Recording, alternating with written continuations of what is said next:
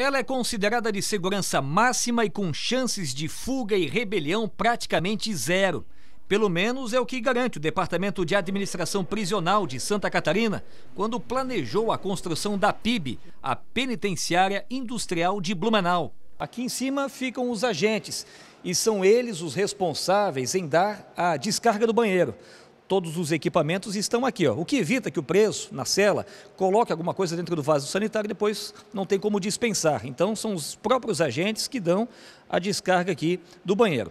Outra ferramenta importante para manter a segurança de quem trabalha aqui no presídio é evitar o contato corpo a corpo com o detento. Então, aqui de cima, ele utiliza esta ferramenta aqui, ó. Ele consegue abrir e fechar o portão das celas. Isso evita o contato do agente penitenciário com o detento que está na parte de baixo. É um modelo que a gente já está implementando em outras unidades. Entretanto, esse já acrescenta algumas correções das, das construções anteriores, né? E ele vem acrescentar para a comunidade de Blumenau um equipamento é, moderno e de segurança, né? É, é, no sentido em que a gente pode ter propor, proporcionar aqui trabalho, educação, uma convivência mais adequada, mais segurança para agentes penitenciários trabalharem e também para a comunidade do entorno. A solenidade de entrega da nova unidade aconteceu na manhã desta quarta-feira. Autoridades e convidados prestigiaram o evento. Foram apresentados também os 90 novos agentes penitenciários que vão trabalhar no local.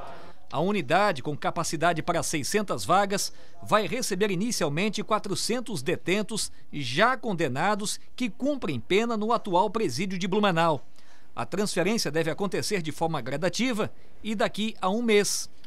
Aqui ficarão divididos em 90 celas e terão a oportunidade de trabalhar, através de oportunidades que serão oferecidas por empresas parceiras.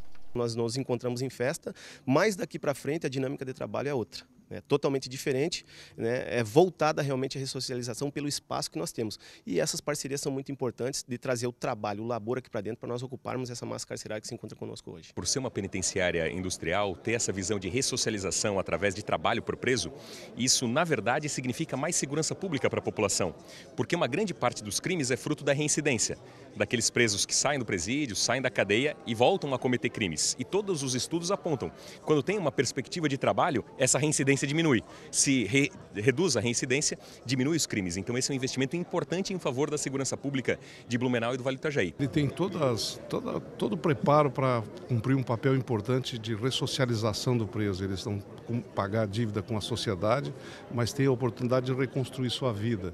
Então é uma unidade industrial que, que permite realmente um ganho extraordinário. E, e sempre se mostrou um problema grave a penitenciária atual de Blumenau e essa nova é um avanço importante. Ela foi feita em tempo rápido e tem a mais completa e a melhor estrutura e nós já temos experiência para trazer, fazer dela uma unidade de recuperação muito importante. O governo do estado parte agora para a segunda etapa, que é a construção de outras duas unidades que vão formar o complexo penitenciário de Blumenau.